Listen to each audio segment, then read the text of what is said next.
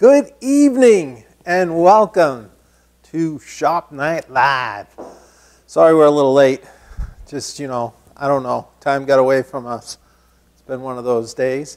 Um, but we're glad to be here and we're glad that you're here spending some time together in the shop. I'm Tom McLaughlin and this is Epic Woodworking, where together in the shop we get to the heart of woodworking in all different ways.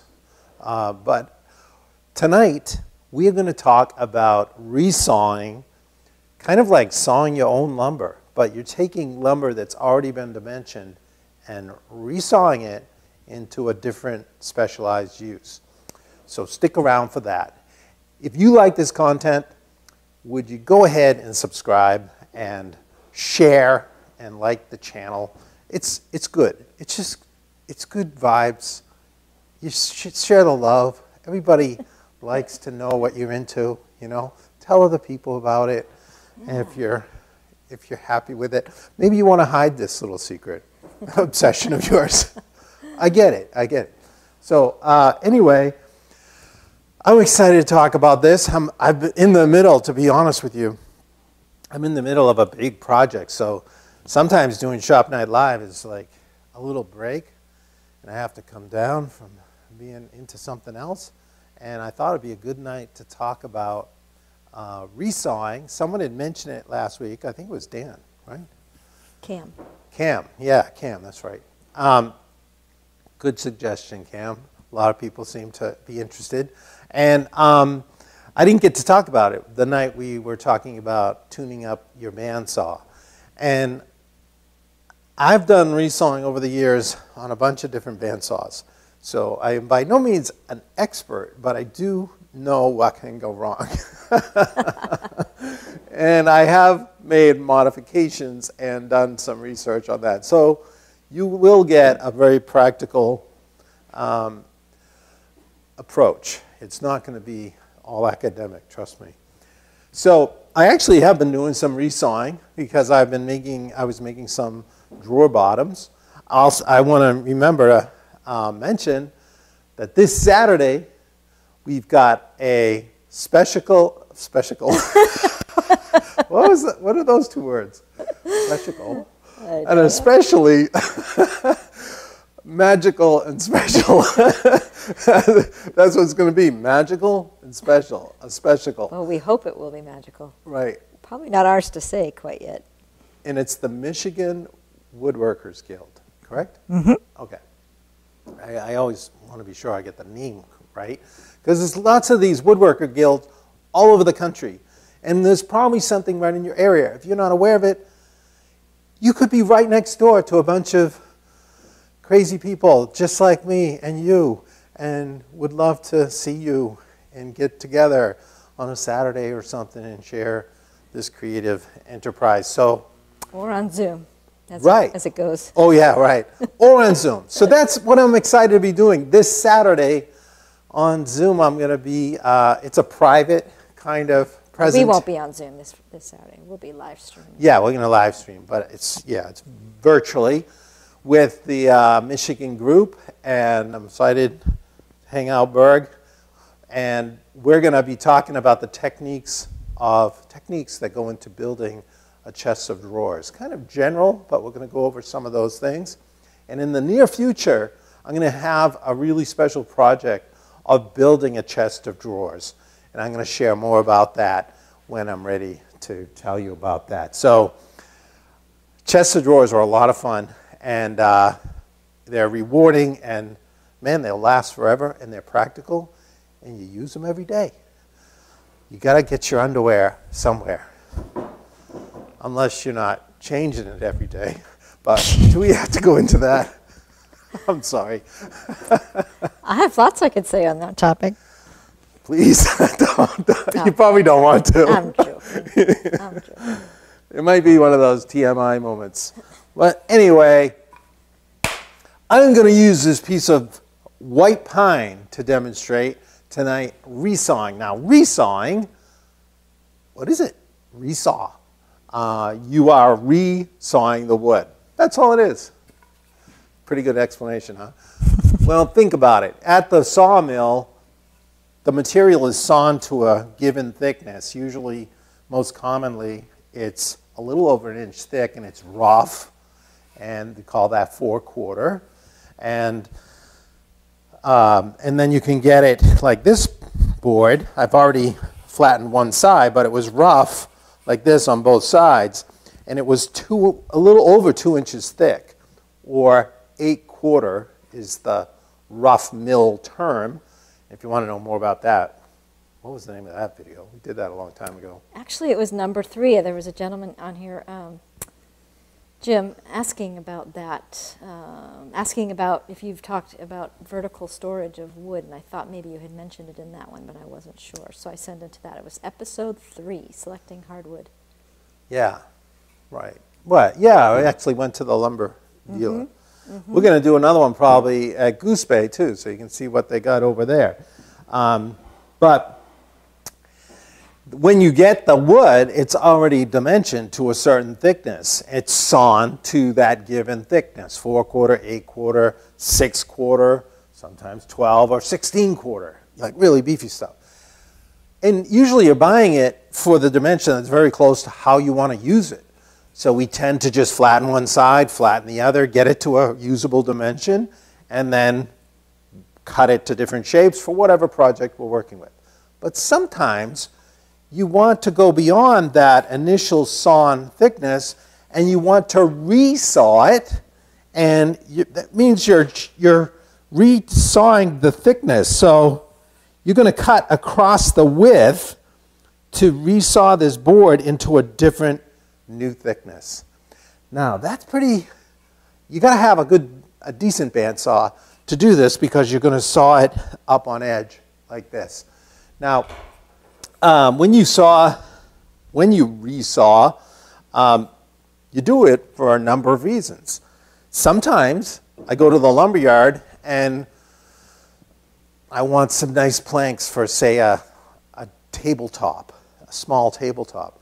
And there's nothing really that's exciting me, but there's, let's say, some curly maple, and there isn't some really strong figure. Usually there's something, but, and then I notice over in the four quarter, I mean the eight quarter bin, there's some incredibly strong figured curly maple.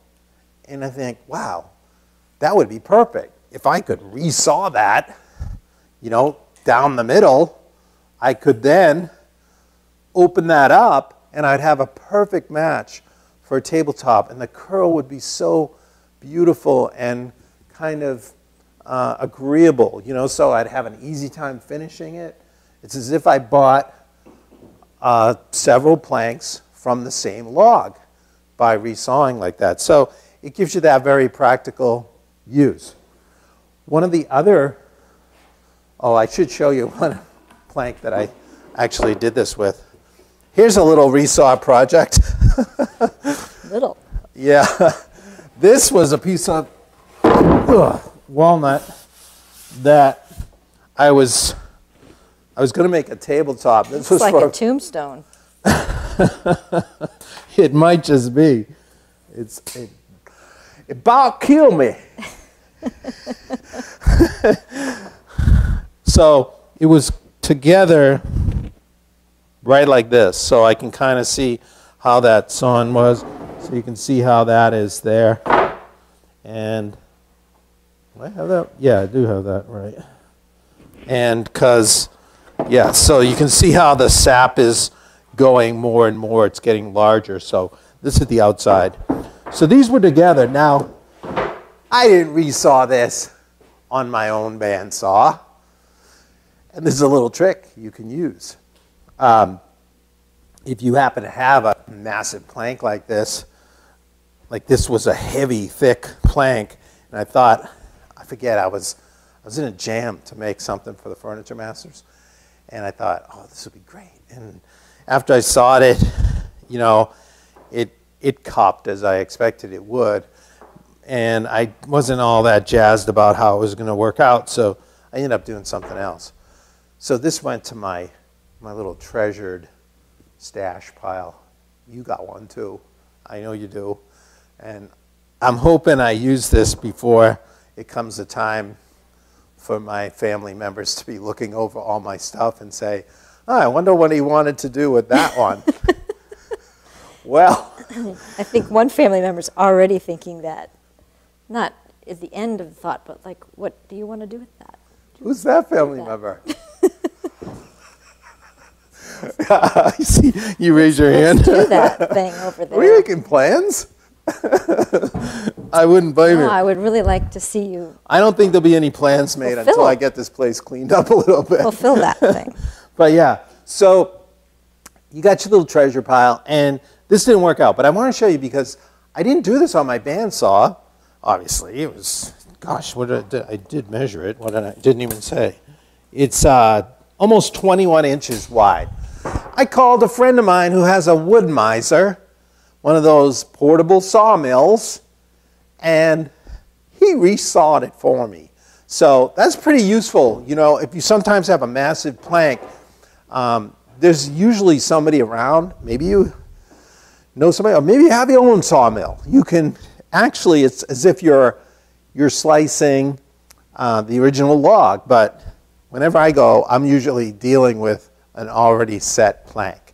So I resaw this, and this is going to be something amazing. I mean, look at that. Mm. I think I planned to cut this off so that I could, you could, but when you resaw like this, you can open it like that, like the pages of a book, and the, and make what's called a book match. So you have this, this symmetry of the pattern, and this is gorgeous, like walnut right in here, a huge swirl, and you've got this beautiful crotch figure here that will just light up and get rich and deep.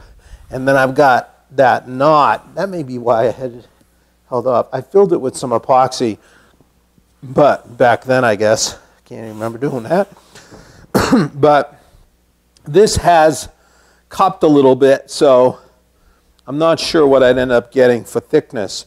I would hate to cut it, but you know, this is almost like two tabletops. You could either make two separate or try to do one big round, which was what I was thinking initially. so you could book match it like that, or you could flip it the other way and do something a little more random looking, but that joint may not be quite as nice.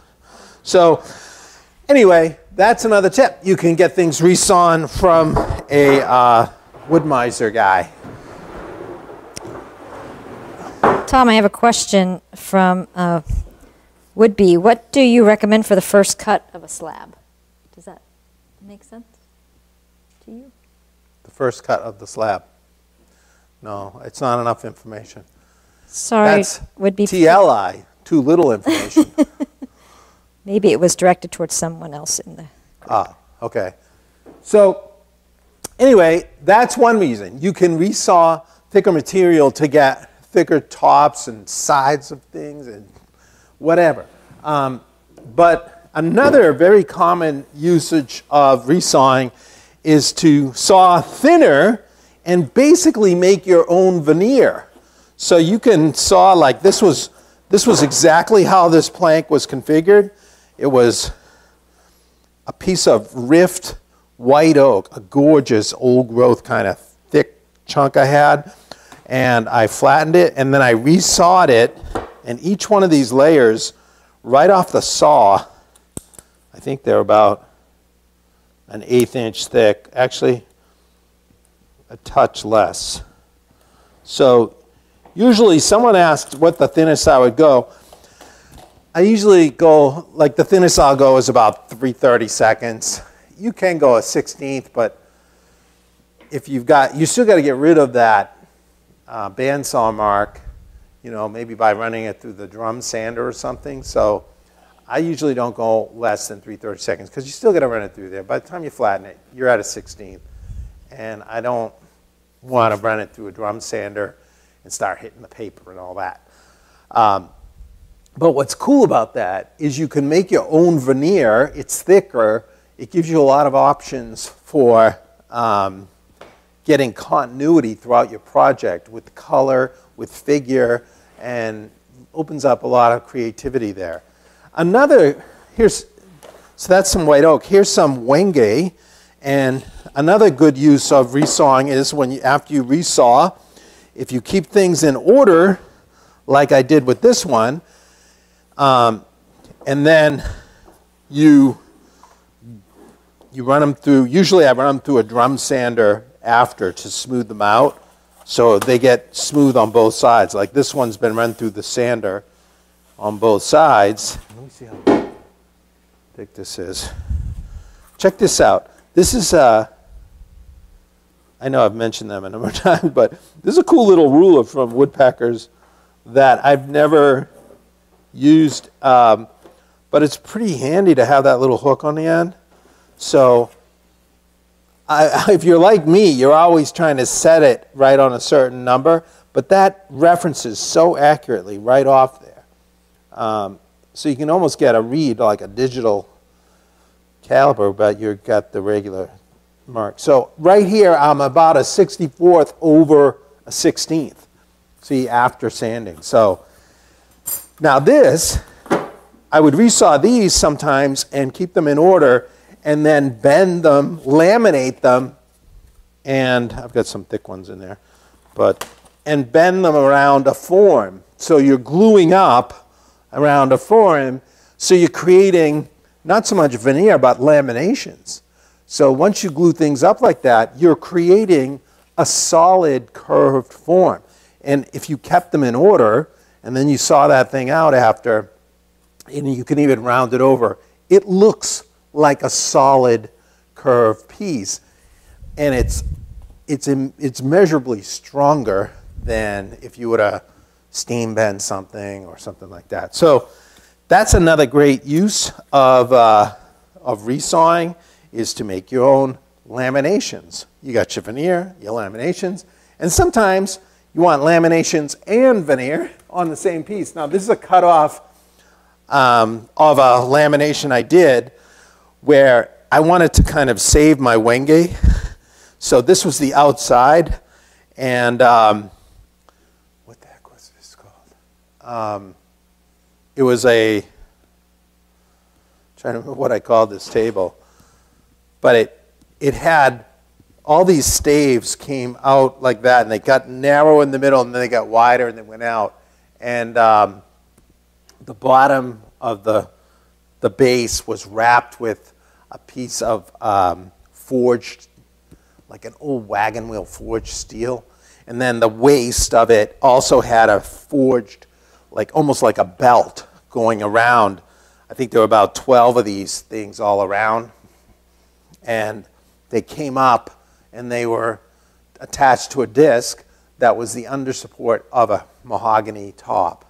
And it was quite a nice looking table. It was, took a lot of time, but I used oak, white oak here, and just the wenge here. And then I ebonized the white oak later, so I didn't waste like the really costly premium uh, um, wenge throughout the whole thing. So anyway, I also textured that with a wire brush. But this is just a little example of showing you this is, these were laminations like basic white oak, not expensive stuff. And you also don't have to, by the way, um, cut all your own laminations. You can buy veneer that is a 16th of an inch thick, even a little more, but if you're going to do a lot of a thicker thing, 16th is good because it'll bend easily. If it's a long, softer bend, you can get away with eighth inch, but once you start stacking up hardwood at an eighth inch thick, it gets harder to bend and you need more um, clamp, creative clamping. So that's some good reasoning for um, resawing. Can you talk about how you store your veneer? Um, I have veneer downstairs. I have on one wall down in the basement. I have well the first floor. I have a um, probably about 12 feet long, and I just put a bunch of those stanchions on the wall, and I have shelves that I got from the Gap a long time ago when they were throwing them out. They were going out of business. So they're all like really nice shelves, and they're about 16 inches deep, and they're all about that far apart. So I just have it all like on shelves, like long pieces. So they're laying there. It's great because veneer, you're, you're storing a really a tremendous amount of wood if you think it's a covering, but you can look at it very easily and handle it so easily. But that's how I store mine on, on flat shelves like that. It's pretty hard to stand it up. And you don't really want to roll it, leave it rolled up because it'll stay kind of rolled. When you get it, you want to unroll it and let it relax and get flat. So you do want to store it flat somewhere, but it's not, not takes up decent amount of room, but it's just that one area of shelves. So Eric's asking if I resaw th- eight quarter wormy but, but butternut, will the holes What? go What? all the way through the middle? worry what? Okay, let me let me try this again. What were you thinking about there? I don't know. It's my eyes and my mouth. Don't always Wormy work but- together. Butternut. Okay, if we resaw, if he resaws eight quarter wormy butternut, will the holes go all the way to the middle? Uh, good question. I don't know. It depends how hungry the worms were. no, actually, no. Um, wormy butternut. I don't know. It, it depends if it was old. Like if you were saying wormy chestnut, I would say absolutely, because wormy chestnut is just all throughout. When you saw it, when you get a plank or a beam of wormy chestnut, those those bugs got all the way in through it. Um, wormy butternut now, that could be wormy for a number of reasons. Sometimes they only went so deep. Sometimes bugs only go into the sapwood. Um, but butternut, I'm not sure. Butternut's pretty soft. Um, there's no way I can. I don't know. Maybe somebody else knows if the worms always go all the way through. I would say, I would bet, thinking if you've got a lot of wormholes, do you have the worm? If you have the wormholes on both sides, yeah, I would probably guess they're all the way through. So, but I can't, I can't guarantee that. There's only one way to find out. You just use the Titebond 3 for laminating glue?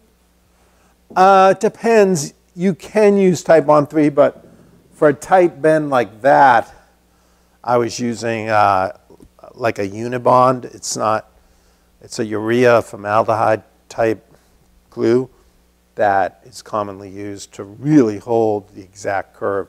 There's no spring back. Um, it's a little more of a hassle to work with, uh, but it gives you a lot of open time. Um, I probably could have, I probably could get away with the Titebond because you've got so many glue joints that in order for it to fail, they all kind of have to slip a little. Not going to likely happen. Okay, I've got one more question, and then I know you need to get moving. Um, do you ever thickness cut wood on a taper to build up a tapered lamination instead of straight cuts resawn with equal thickness laminations? Um, That's I have done that once or twice, but not a heck of a lot. I know some people do. Um, that was a cool um, method that Jere Osgood used to use a lot. He'd have these tapered legs. So imagine you had this like gentle saber leg coming down, like getting narrower to the foot, and he would laminate them. So you didn't want to, if you laminated them out of all the same thickness stock, as it got thinner, when you sawed it out, you'd see all the glue joints of the lamination layers. And to avoid that, he had, like you're saying, the, uh, who was that?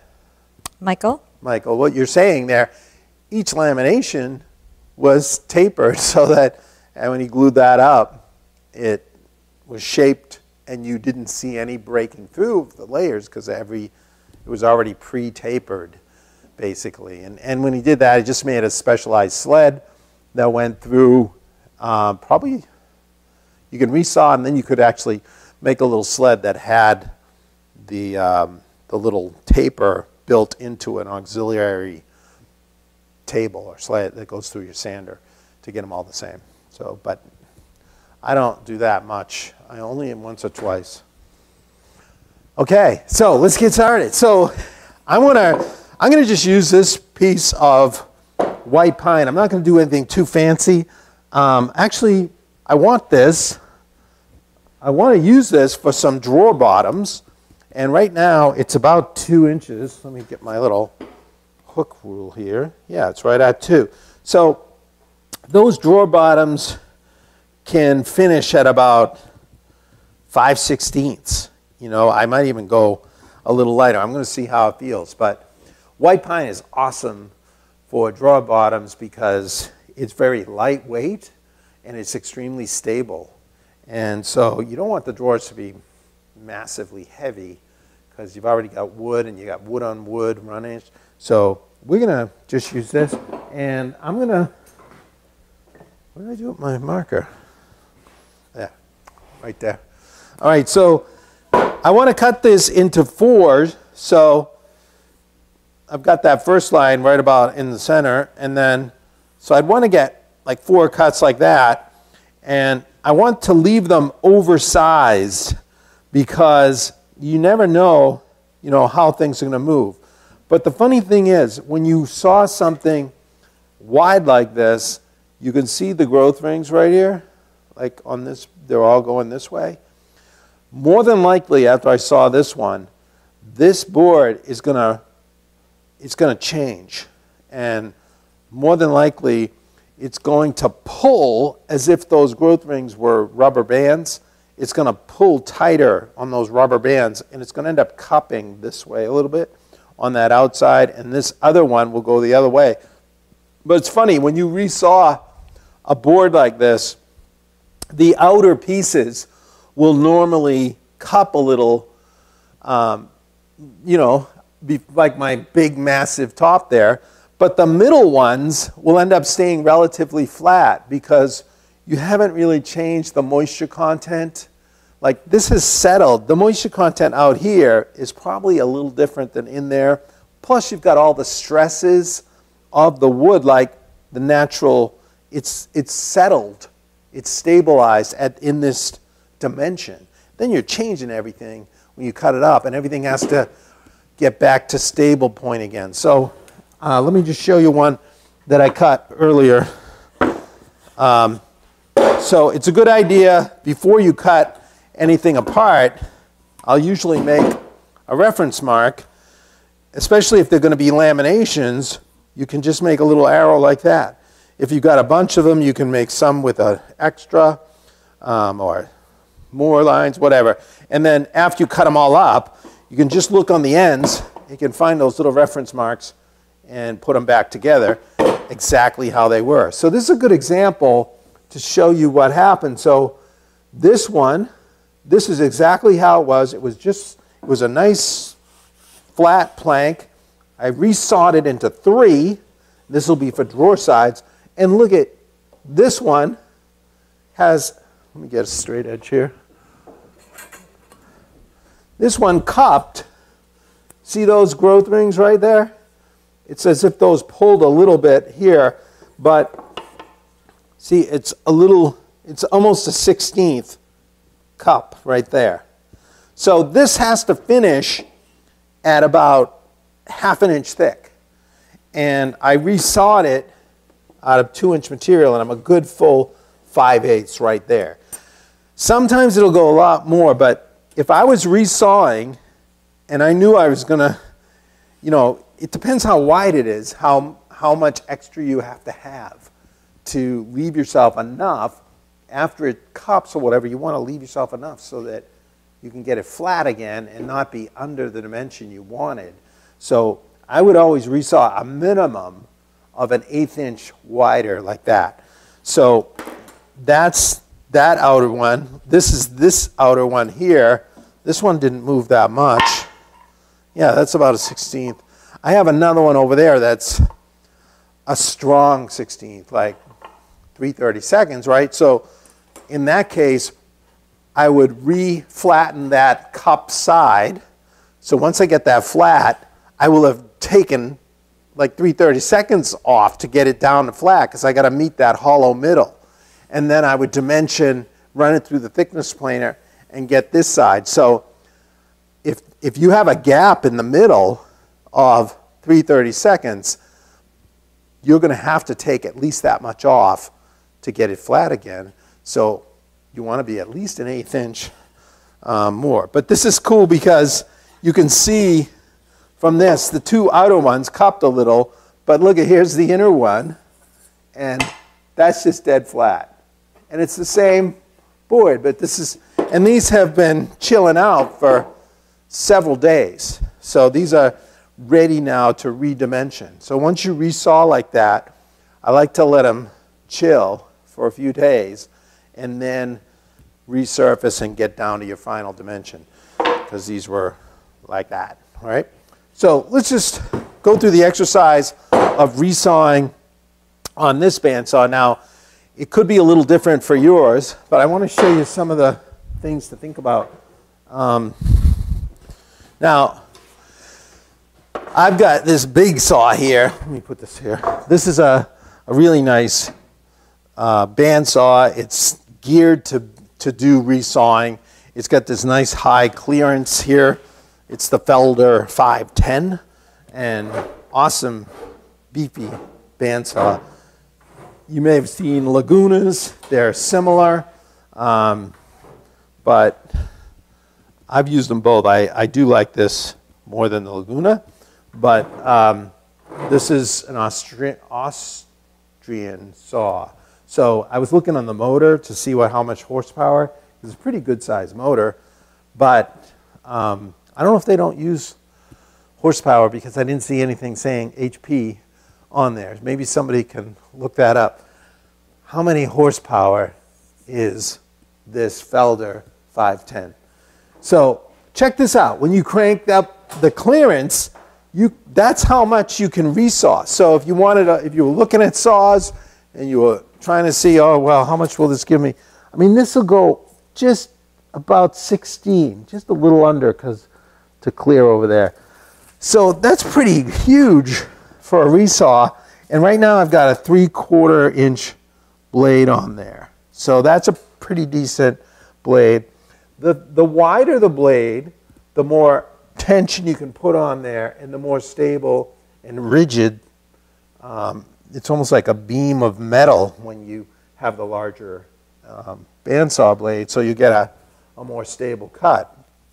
But you can resaw with a smaller bandsaw too. You just can't do the same capacity. You know, you may have one that you've put a little riser blocks on. I know I've got, uh, somebody mentioned that. Um, but you can only kind of push as much as your motor is. So if you've got a one horse motor, you can resaw on that. You just can't go too crazy. You know, you got, but I would use like a half inch blade on, on that. I would, so for my little Inca, I've resawn on that and I don't have, I have about that much clearance. So it's pretty handy and I'd put a half inch, three tooth per inch blade on there. You need a large kind of tooth. This is also a three tooth per inch. Um, you can get a two to three tooth per inch as well. So they're really big. You need that clearance because you're taking out a bulky amount of sawdust. When you're resawing, you're cutting like down the middle of all those tubes. So you're taking out a lot of bulk. And you've got to be able to clear it out. And so the gullets on a resaw are quite deep, that little hook area in there. And sometimes the teeth are even having them further spaced out is flying through and taking more away. Now, when you resaw, you also want to feel it. So when you're pushing the board through, it's not something you can do fast when you've got a wide piece. You've got to go take your time. You want to keep moving but you don't want to overload the saw blade because when this blade is coming down, you know, it's still a, a bandsaw, right? So this one has a lot of tension on it and it works great for a resaw. But I've sawn on my big old one that some of you have seen around, 36 inch thing. Great, but there were times when I was resawing on that where I didn't know that inside the cut it wasn't straight anymore. And you may have this happen, but you're cutting, you're resawing something, everything seems to be going well, and you're like, huh, something feels a little odd. And then all of a sudden, I've had this happen where I was pushing it through, and I'd see the band uh, suddenly appear on the side. So if I was resawing like this, you're cutting through, and the blade's completely buried in there And then you see the band cutting through out here. So what's happening is the band is actually bowing or giving you like um, a barrel cut where it's almost like the shape of a, a whiskey barrel or something. It's, it's the blade starts bowing. You might say, why would it do that? Well, what's happening is when you're running that board through there, the bottom wheel is pulling. It's pulling the blade down. So you're when that wheel is pulling with that motor, the greatest tension is right from the blade down to the wheel. So it's as if it's pulling because you're you're bringing in resistance right here. So it's now tugging under there. So the blade, it's not super flexible, but what happens is you end up getting a bit of a slackening above because the tension is not as great on top. And what happens is that tension uh, has to go somewhere, the lack of tension, and it would actually start to change the cut inside your piece. So usually if you get that barrel cut, it's because you don't have enough tension on the blade or you're pushing it too hard. Right? Take it easy. Because right? you're overloading the blade. So the harder you push as it's trying to cut through, it might be hard wood. That's when I've usually got in trouble. And you almost have to feel it and, and just go easier because you can feel the resistance. You've got to let it clear and everything. If you push really hard on a hard wood, that tension really gets great there, and then you have more opportunity for things to go bad inside the cut. But if your tension is good, this is one place where tension is good, right? See, you have to chill. hypertension. Yeah, you have to chill out to counter all this tension that's going on here. So, but take it easy and uh, don't over speed feed it. So, um, let me. One other thing that can go wrong, that's very common, and a number of you mentioned this, is the whole idea of drift. And drifting off, you, you're drifting off the cut. It's like drifting and. Where was I? Sorry. Oh. I drifted off. Oh, goodness. I, you got me. I wasn't even, yeah, you're looking at me like, what? oh no. He's already starting to lose it. Oh, gosh.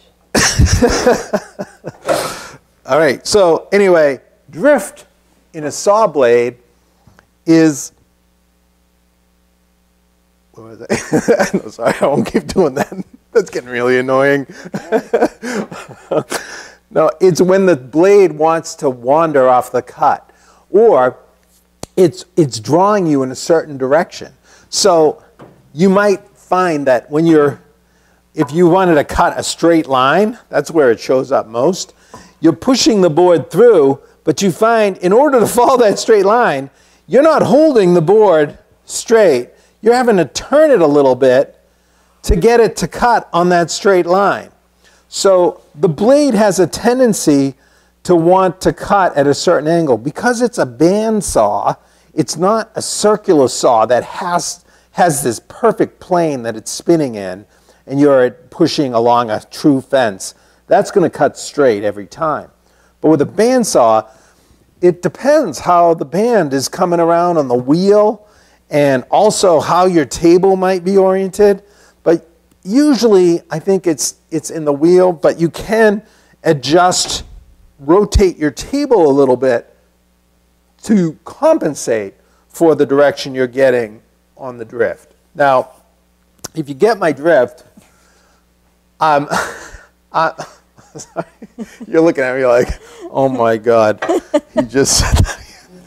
All right, so sorry. I'm used to it, actually. So, so I want to show you how to figure out what your drift is so we can compensate for it. Now, this, what I'll do to do that, now I have a serious case of drift with this saw. I've had it from the beginning. And I, I should go in and doctor and figure out what it is.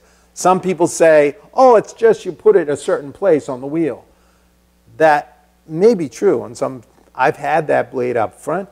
I've had it in the center. I have it right where it's recommended right now. This size blade actually is recommended toward the center. I think it's five, five eighths or I don't know. But when I looked it up, it's supposed to be in the center.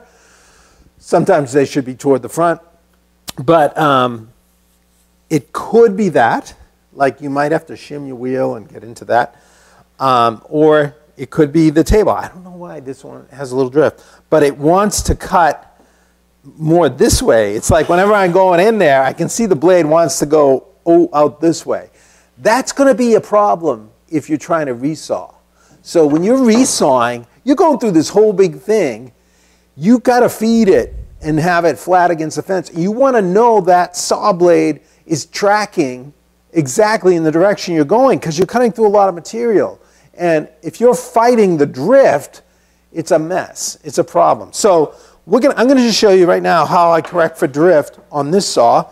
And I just take a, whenever I'm testing for it, I'll just take a pen or pencil. And you could use a square to do this, but I'm going to use that square method I use. Let's see. Um, trying to think if I should do it this way. Let's do it on this edge. It'll make more sense. So I'm just going to take my pen and make a parallel line. Okay, you want a dead parallel line on a parallel board. Okay, so this is a parallel board. Now I'm going to just bandsaw on one side of this line, and I'm just going to try to bandsaw a straight line. I'm going to go as far as I can. I'm just going to naturally let this turn however it needs to turn for me to cut on that straight line. So I'm going to be feeling the drift as I'm trying to stay on that line. And I'm going to find a certain angle that gets me cutting true and straight on that. And that's going to be my drift angle. Okay? So let's go ahead and give that a shot and see what happens.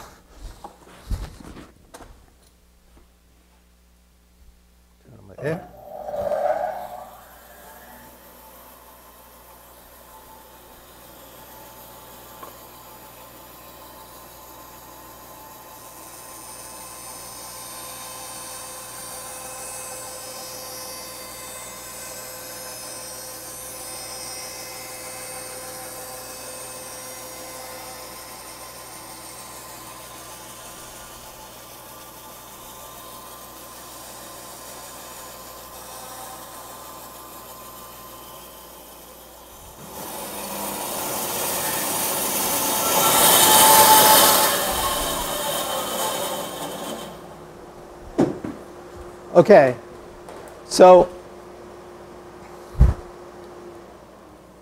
so once you've done that, I could feel it. So I turned a little bit. Then when I, when you just stop about midway, and now you're gonna you want to cut the board wide enough so you gotta you can put a line on your table. So I'm gonna put a line right on here, and this is it here. I got some other lines on my table, but all right. I hope this is the same as I got the other day. But now I'm going to measure from this point, um, 1 and a 16th, and up here, it's a little more than I had the other day. So let's just do it this way.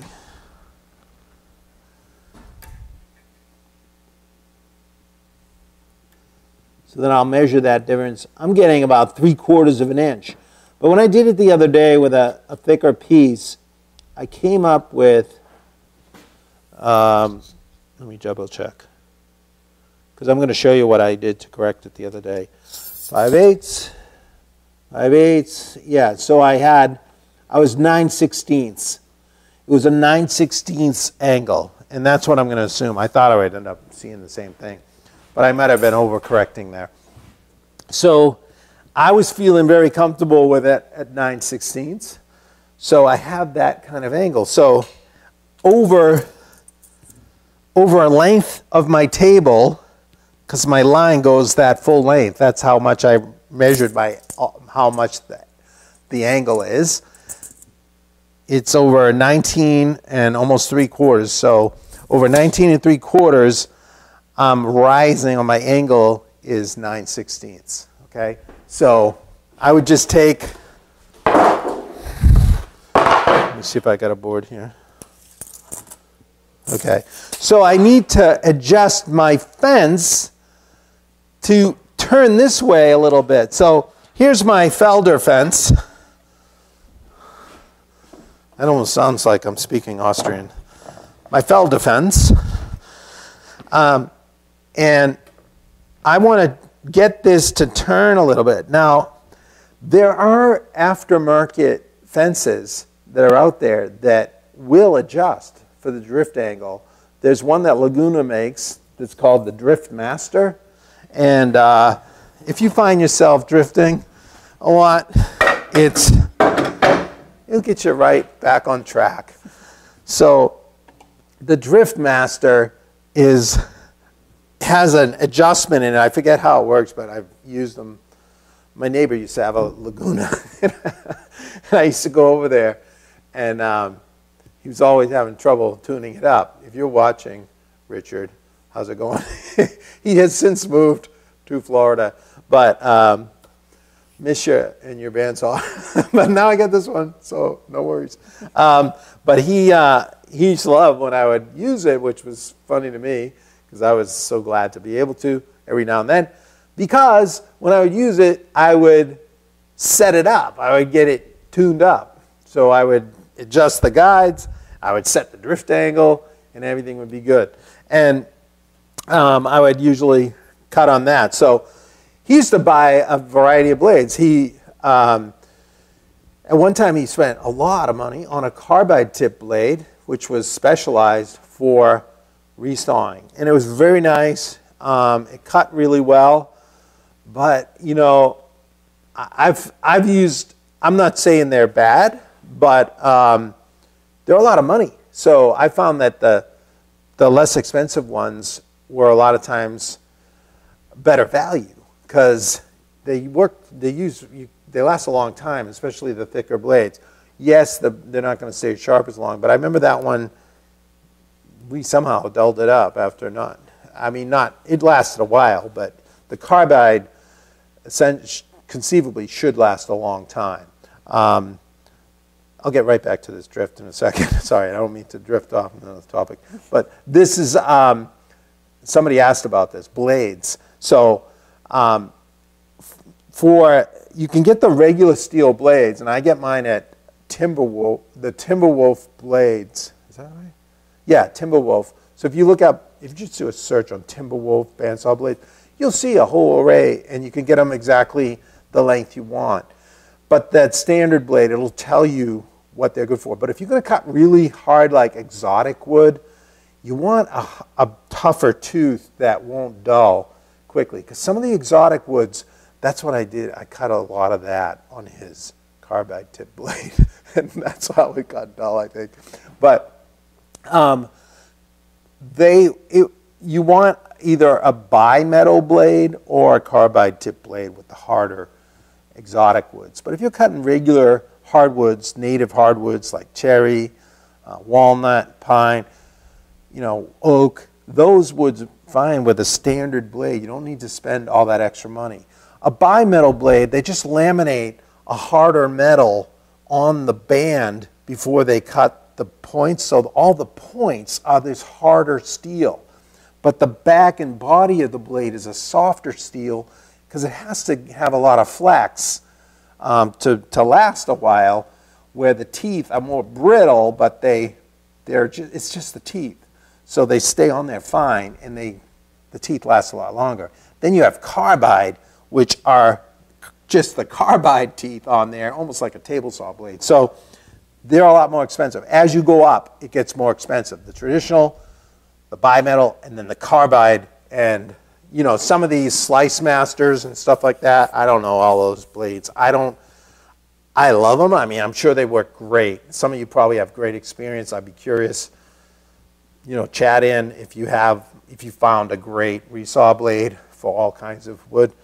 Um, but I've I've pretty much stuck to the the more basic ones that are more affordable there. You could have a couple different sizes, and they last a good while. For how much resawing are you going to do? If you're going to do a lot, then you want to invest in probably a better, higher grade, more expensive blade. All right, so um, what I want to uh, do is adjust my fence. Now, I don't have the Driftmaster Laguna here, and I put in a question to my friend and uh, source there at Felder, and I didn't check my phone. I only did it, you know, a few hours ago, so I may not have heard back. I don't think they sell an aftermarket. Maybe somebody knows. Does Felder make a drift fence? I'm not sure. Um, but there was no way to adjust this for drift. So I started thinking, okay, how can I change that 9 16ths over that distance to correct for the drift or natural uh, tendency of that blade? So I thought about shimming, like putting shims in here, but that's a lot to shim. You know, and to do that, I would have to loosen this, and then I could kind of pull that out and put some washers in there and everything, but it gets kind of sloppy. And after a while, I was thinking, uh, then I'm going to lose my squareness of the, of the fence. So I decided I had a fair amount of resawing to do. So, excuse me, I decided to make uh, just some wedges. It turns out that this fence is the exact same length as my table. So I just wanted a piece that was like, it's almost 19 and um, I'm just going to measure it here so you can see. So I'd go 19 and 3 quarters. And then I want to be over, at this point, 9 sixteenths. There. And now I can draw a line.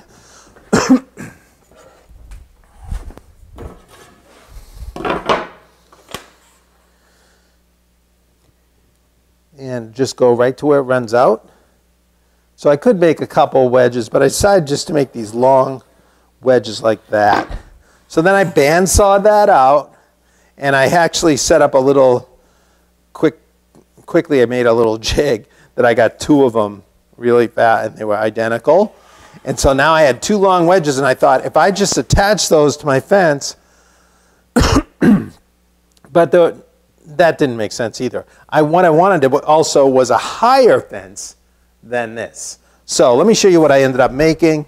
And whatever your bandsaw is, you're going to have to do something different. Like I said, you might find that you can turn your table. If you can turn the bolts, your attachment bolts on the bottom, you might be able to rotate your table to correct for your drift. That's the best thing because you're going to be probably pretty close all the time. Or you might have an adjustment on your wheels, but I'm not going to get into that. I don't know. They're all, all different. So I decided I would use just something simple. This is one of those stair treads that I built my sawhorses out of. And it was pretty good because it was, you know, pretty, a lot of quarter sawn and rift, and then I get a little here, but it's mostly quartered except for the middle. So I was able to flatten it and feel pretty good that it was going to stay pretty flat, even though it's a cheap piece of wood. If I wanted something really fine, I would have gotten some quarter sawn, some good hard maple, made myself a really premium fence. But this is the real me. I probably should have done something nice for this, right? But huh, Tom. Yeah. I don't. I don't know if this is a, a layman stupid question, but I think there's confusion as to why you can't just angle the fence. Why can't you just use the fence to make this right? Because my fence doesn't angle. That's what I was trying to say. Um, there's this this fence locks. It's got a flat locking rail on these flat rails, and there's no pivot. There's nothing. So it's that's it. It sits on this rail and so I was thinking, as I mentioned a minute ago, if I could loosen this, see how I can angle this fence now? As I loosen it, I can angle it. I could shim, put shims in there. But as I did that, it's not super flat. It gets kind of wonky there, and it's not super rigid. So I decided I wanted to just have a resaw fence that I could pop on there in this case. And um, this is what I did. So I, I just took this piece of wood. I have, that is one of the wedges right there. it's 9 16ths down to nothing over the length of my fence, and that's this piece here. So this is just a piece of three quarter inch plywood, Baltic birch, and I've got my other wedge there. This is the height of my existing fence, so that'll go right against, and this is a new higher extension, which is really nice to have if you're going to be resawing something thicker. Um, it's good to have more support higher. So let me just show you how this works. I'll bring this up. All I did was um, tack my little wedges to this board. I made this first, the same size as my fence, tacked those wedges to it, and then I just ran some screws into my fence. But now I had something to clamp to, but I had to, before I put this down, I just chiseled out here to, to uh, accommodate for my clamp. So all I do is slide this on, and then I take my clamps. I got these little ratcheting clamps from uh, Bessey, but they're kind of fun to use. And I just slip it right back there. Folks have lots of ideas. Yeah, there's all kinds of ideas to do this. Sometimes you do something and then somebody says something simple and you go, oh, okay, I feel stupid. I went through all that trouble. They have magnet ideas, Yeah, magnets work too. Yeah. adjusting with a blade and how it's sitting on the wheel, all kinds of things. What's that? Adj- Adjusting the, the blade on the wheel. I- Yeah, on the wheel. Yeah, you can move it. You might get a correction. What I'm saying is, I've done everything on this bandsaw short of changing, adjusting the angle of my wheel, and I haven't tried turning the table. I was looking at it, had some set pins. This seems to be nice. This is one way you can do it. This basically imitates what the Driftmaster fence does for you. The Driftmaster, you can actually pivot your fence, and it has this, it's an auxiliary fence that um, you can put on a higher and lower fence on the Laguna uh, using that system. So that has that angle built right into it. So now, if I want to take my stock over and I'm going to cut it into those four pieces, I'm going to set my blade right to half an inch, say, to the outside. So I'm going to be actually getting more like um, 7 sixteenths. So that'll, that'll be enough to, to dress down to, um, what did I say, 5, yeah, I might end up with 5 sixteenths. So there we go. Now I'm going to change the height. Let's drop this down a little.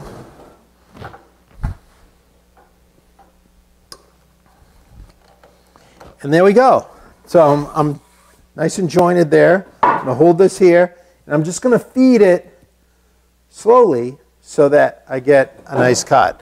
And what's cool is once you've corrected for the drift angle, it tracks really nicely. It doesn't want to wander off, and you're going to get a good result. Let me turn on the dust collector, and we'll make a cut. Hit that door really quick.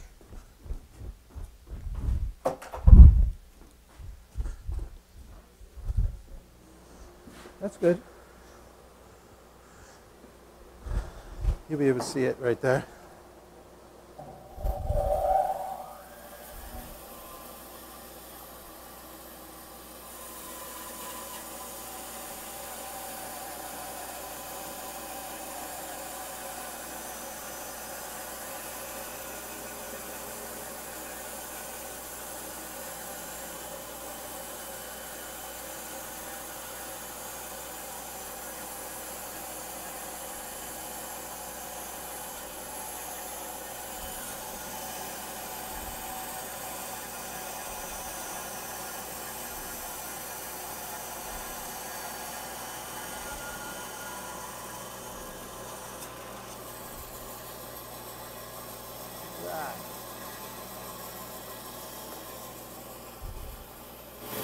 Perfect.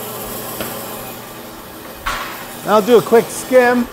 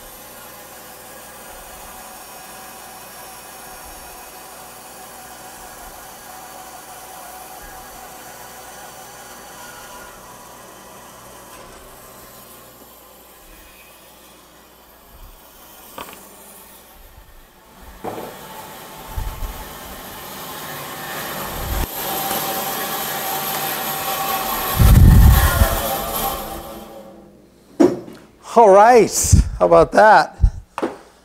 Let's see. Now I can rearrange them the way they were, and I ended up, I guess I set it a little thinner than I needed to, because my last one's a little bit thicker, but that's okay. That, that's perfect, because by the time I get that.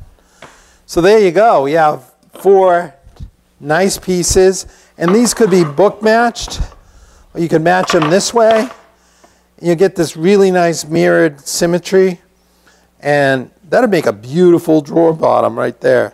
You'd pull open the drawer, and it would look like it was one board. So that's resawing in a nutshell. Um, I know you have some questions, and I didn't cover everything there.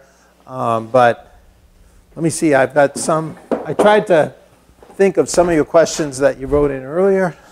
Before you go to those, Todd's asking if, if I only have an eight inch jointer, should I be limiting my resaw boards to eight inches wide? I'm sorry, say that one more time.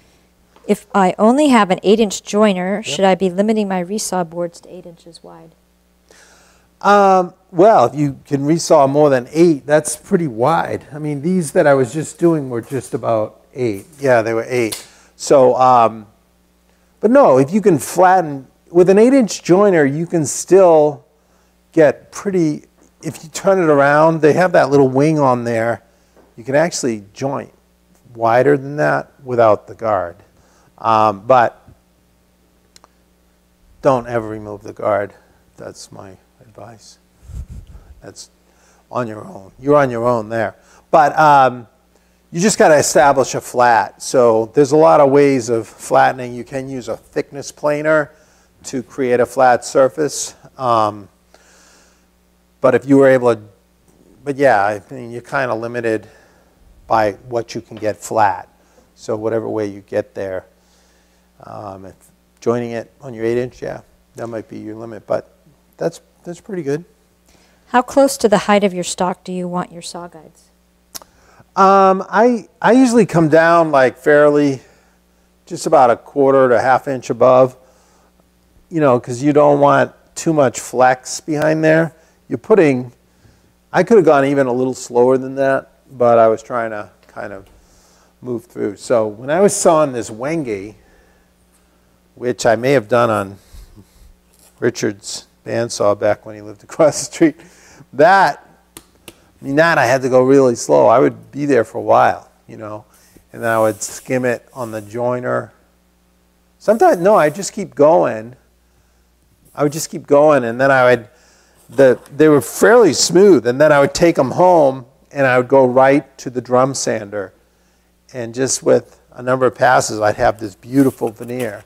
So you could make it an eighth inch thick, um, usually I wouldn't go much more than an eighth for veneered type pieces, but a lot of nice options. When is you is that. is every blade change going to need a different angled fence? Uh, good question. No, I I have found that all of my blades tend to drift the same way. unless it's an error on the blade or like the blade has like an offset or something. Usually your blade's going to be your blade. It's it's usually in your saw, like either your your upper wheel or um, maybe your table isn't. It's something about the way it's riding on your saw. So it tends to be the same for me. I'm always turning that way when I'm trying to just freehand a saw cut. So it's probably right about that. It could be, you know, between a half inch and three quarters, somewhere in there that my drift angle is on that. It might be subtle. But I do want to mention too that on that Driftmaster fence, like for this method right here, I was having the, the dimension I wanted, the dimension I ended up with was sandwiched between the blade and the fence. On the Driftmaster, if you're going to cut really smaller veneer, you don't want that thin between the fence. So what the way that works is you're you're running a thicker piece of material through there, like let's say something like this, and it's what you want is uh, is falling off the outside. So I would have like a two inch thick piece, and I would set it. I'd make a primary cut and then they had a little crank, and it by turning the wheel however many times, you turn it the same each time, it would move the drift fence over the same increment. So it would move me over like say an eighth of an inch. And then you'd run it again. And that layer would fall right off the outside. So you're you're putting your stock between the fence and the blade, but the piece you're getting is what's falling off. What you might think of as the waste is the right thickness of, of veneer. So that's the other way. Your, your keeper piece is not, if you're doing, going real thin, you don't want that between the vents. You, you can do it in some cases, but most of those really, uh, those nice jigs and things, your keeper piece falls away. So. Do you have any thoughts on riser blocks for bandsaws? I, I can't say I have experience there. Riser blocks are usually put on smaller um, 14, 10, 16 inch bandsaws. Um, but usually they're on the smaller, like jet or whatever. I've, I have seen them on there, and they give you another, what did they give you, like five, six inch height change? They, as long as they're bolted in and they're strong, they're they're recreating kind of the, the strength of that angle. Um, I think they're fine. They'll give you a, better height for your resawing, and you can do it with smaller um, saws too, but that horsepower is going to limit you a little bit. One other thing I didn't mention is one of the ways I would cheat resawing a lot is if I had a big thick plank um, and I only wanted to cut it down the middle, once I got a joint and everything, I'd go to my table saw and I would raise my blade like say an inch and a half and I'd run it through and I'd turn it and I'd run it through. So I'm cutting a, a slot. Now it was about an, an eighth inch thick. I mean, the kerf was an eighth inch wide. So I'm losing that much material where I don't lose so much on the saw. But usually you have it. Then I crank the blade up even more to go up to the three inch height that my blade can go and I run that through. So I wasn't doing it all at once. I'd get it in a couple passes.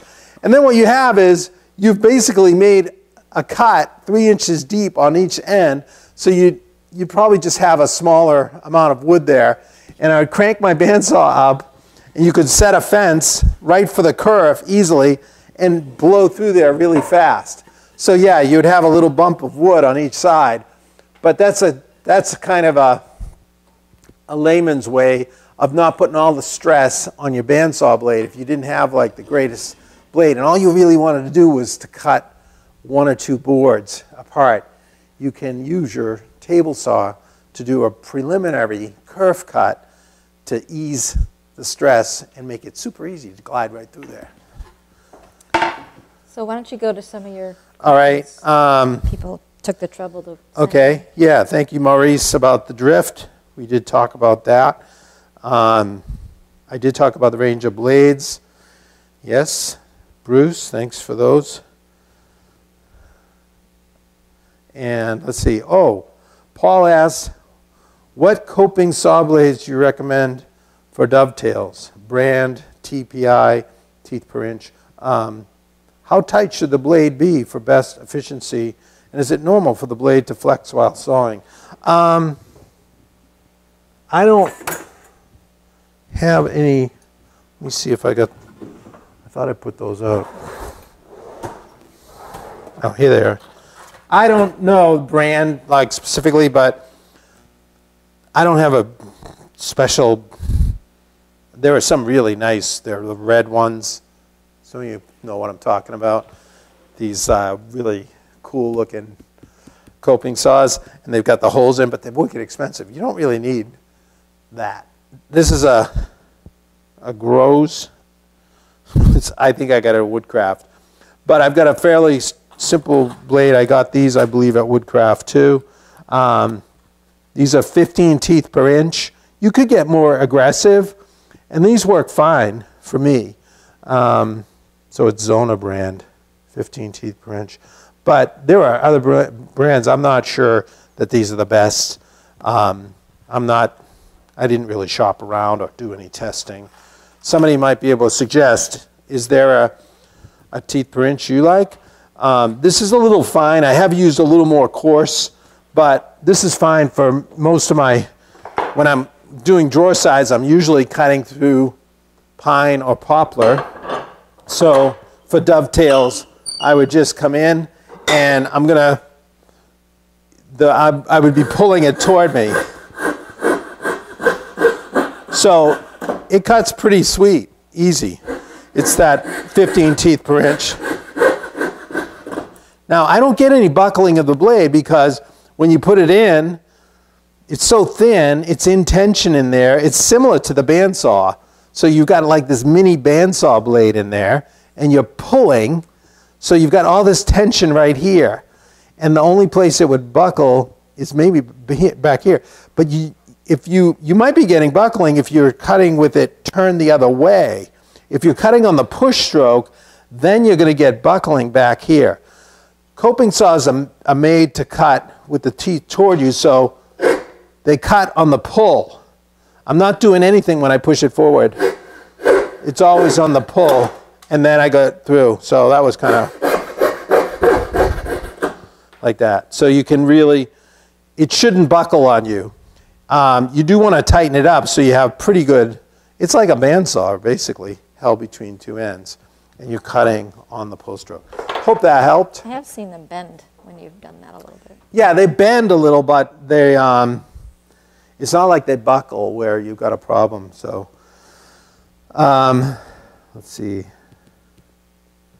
And Kurt asked about the, I was thinking about you, Kurt, when I was talking about the, the riser block. You asked about, you have the one horsepower, 14 inch jet joiner with a six inch riser and aluminum wheels and cool block guides. Wondering if you can make it into a more reliable resawing machine, perhaps with a set of Carter roller guides. I'm not sure. I, I have found that, like Mark Duginske, the guy who I, the bandsaw book guy, he used to swear by the cool blocks, that those are really good alternative. Um, and the ceramic guides are sing, almost the same idea as cool blocks. They, they do give friction right against the blade, and they do give you good guidance. The roller bearings, I don't know, some of you might have different feelings about those Carter, uh, if they're worth it. I, I had them on my big bandsaw, but I don't know that that's the worth investing in. You can get a really good resaw without those. Um, but that would be a little undersized if you wanted to be cutting a lot of wide stock. I mean, your, your horsepower of your motor might be a little undersized for, for that. And you're going to need to put more tension on there. With a smaller saw like that, I, I don't know if I go too much more than a half inch blade. You could go up to three quarter. I don't think they're made for like one inch blades, but maybe, I don't know. uh, it just, you have to get a lot of tension on those to really perform amazingly well too. So um, you'd have to look into that a little bit more. But um, Oh. No, I was going back to Paul's. Sorry. Um, or should I cut my losses and buy a bigger machine, 18 or 20 inch?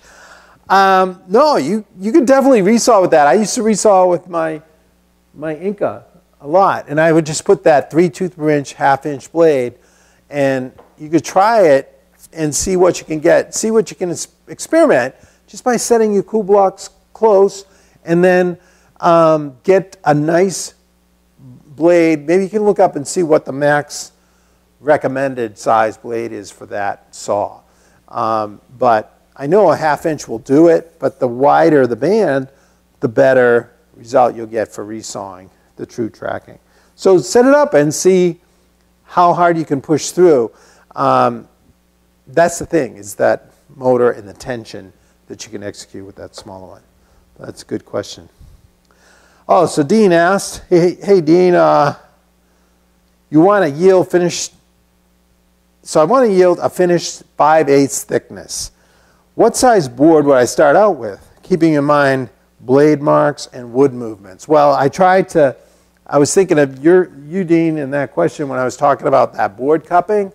I would go at least three quarters of an inch you know, because you still have, it depends how wide it is. If it's really wide, you might have to go a little more than that. You give yourself more to play with there. So um, if I'm trying to get half inch drawer sides out of two inch material, um, you know, it's maybe too heavy. I'm just going to cut that into three. And I've got, you know, a good full 5 eighths on each one uh, to correct with. So hope that answers that question. Um, Okay, Phil, we, Philip, we, we talked about the drift. Um, that you're right, that is the most thing. Blade lube sticks or no blade lubrication. Does this really do anything for you?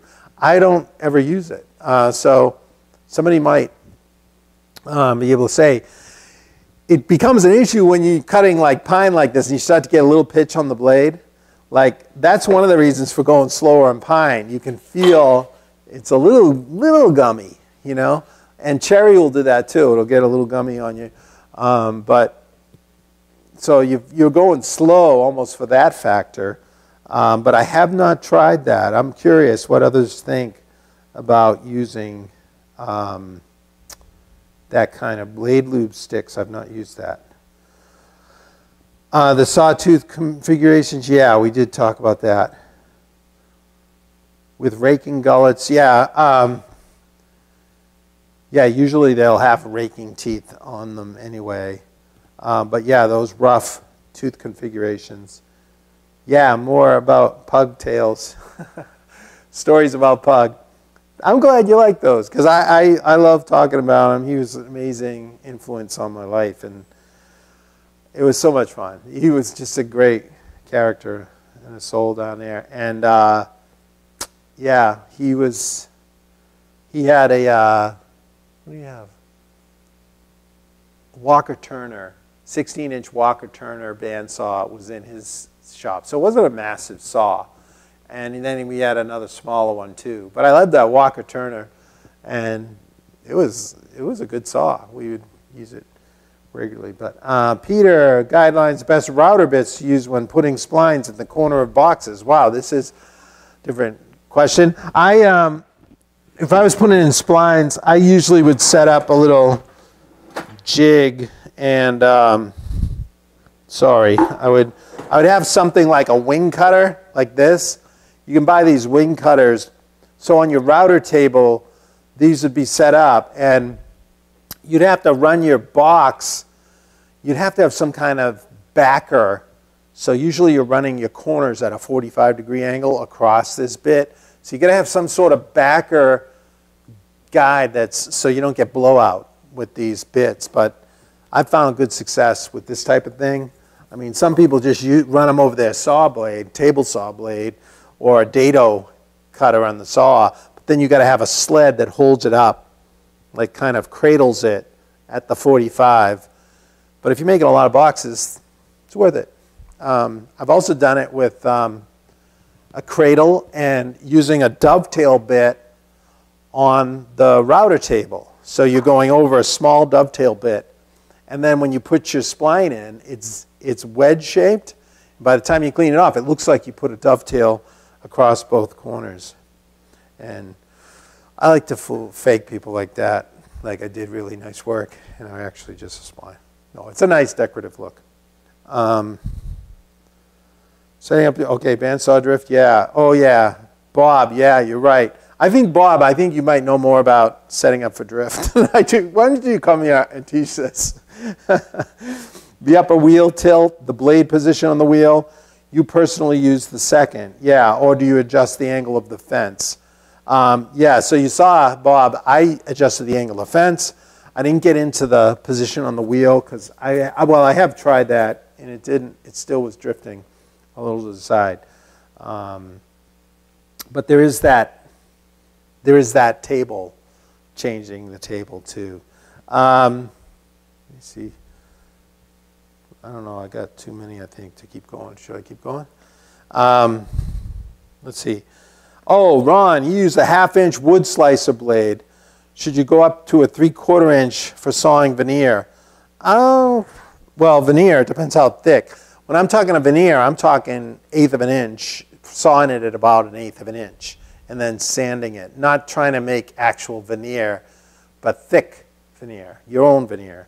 So, um, yeah, you go a little wider, you get that stability factor. But you can, if it's working well at a half inch, I, I think you could stick there. Um, but yeah, it's up to you if you're getting good results. Um, oh, Dave, yeah, what determines the stock feed rate? I think you saw what I've, it's a lot of it is the feel and the results, and you got to make sure you got enough tension so you don't get the barreling. Um, Ron, oh, a different one. What's that? There were several Rons that Oh. sent in questions. Hi, Ron. You're a different one. That's what it says here. I just Sorry. wanted you to know that there wasn't the same Ron every time. Okay, all right. I, I, I understand now. I'm turning Christmas ornaments and want to inlay Christmas designs in the wood while the wood is flat. Oh my gosh. The inlay design needs to be fairly thick so it shows nicely after I turn the ornament. What do you recommend? Man, that's hard to say because I'm not seeing exactly what you're doing, but um, gosh, if you're doing, if you're just turning like a ball, or you're doing those hollow inlay ornaments, is it a hollow ball like some some guys do those? Um, yeah, I would just, I don't know. You could just, what would be cool is just to drill some holes if you wanted like a spotted ball, and then have a plug cutter, and you could try that. Um, or if you're able to turn some dowel material and just drive it in, and so start with a block and just put some dots around it and then turn it. I don't know. I, I am. That's all I got right now. what are you thinking? Um, I'm- You how tired? many more do you have? What? How many more do you have? I got three more. Should I do them? well, uh, we're almost at, at an hour and a half, so. Oh, yeah. Okay. Well, I did have a couple here that people might want to have answered relative to the, okay. Uh, go ahead. I'll have to hold on. okay. Is there a minimum of, ma- or maximum number of teeth per inch one should have on a resaw blade? Did you already discuss that? Yeah, I did mention that. Um, it's going to be about three teeth per inch. I haven't tried the more coarse than that. There are some you can get more coarse than that, but you're tending to get up to the bigger blade, the big blades with that. Like the one inch, you could probably get a two and be fine. Depends how how heavy a material you're going through. Could you use a dial indicator to move the fence over the distance needed to resaw thin pieces? Um, yeah, you probably could. Yeah, that's sort of like what the the Driftmaster uses on the Laguna, except rather than a dial, um, you're turning a crank, which which is on a threaded. It's just threads it over the same amount for each turn. So it's similar to that. But yeah, I would. You could absolutely use a dial indicator. Just bring it up, move the fence. So you kept falling off. You just got to make sure it's the same every time and it's falling off the outside like that. Okay, I think that is good. All right. Well, I'm sorry I didn't get to all your questions. tonight, but um, hopefully that filled you up for the night. So, Um, I it was fun. I, I enjoyed this, and it's resawing is it's good to do because of all the variety and options and creative options you get for it. Um, I do want to remind you one more time: if you enjoy this content, please subscribe or consider subscribing because it's it's great. It helps us and it helps everybody, and you'll be able to see every time we release a new video and share and like as you will. Thank you once again for hanging out with us for a little while in the shop. Look forward to seeing you guys in Michigan on Saturday. And I will keep you posted on the new project, exciting project I got coming out. I can't wait to tell you more about it. But uh, and if you are subscribed with us, or you're, you can subscribe to our website. That's our actual mailing list where you get the insider information of what's going on. That's over at epicwoodworking.com. That's where you really get tied into what we're doing. We'll let you know everything that we got going on over there. Well, thank you again for hanging out with me in the shop. I've really enjoyed it. For the camera lady and me, we will see you next time yes. right back here on Shop Night Live. Great to be Good night. Together. Thanks for hanging out. See ya.